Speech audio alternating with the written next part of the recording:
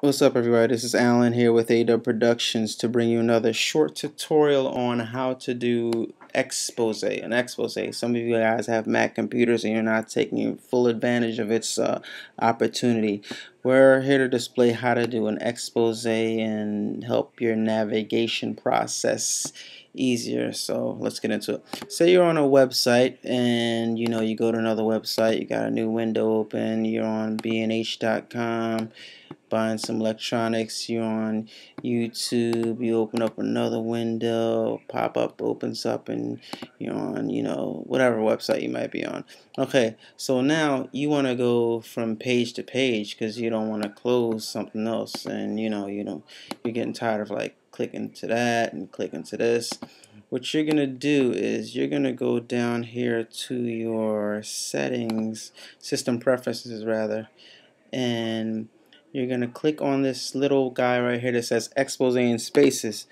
And what this is going to do this is going to allow you to designate what side of your, your mouse goes on the right side and or your mouse might go on the left bottom side or you might opt to make this the upper left side. And this is what you're gonna do. Like I have mine I'm just using two right now I have this to display. All windows that's the bottom left hand side. All windows in the bottom right hand side desktop. And that's uh, good for me. You're just gonna go there. You're gonna designate what you want each side to do.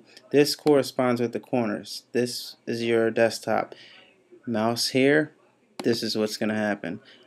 When my mouse goes to my lower left hand side it's gonna display all my windows. Lower right hand side just my desktop. Let me show you.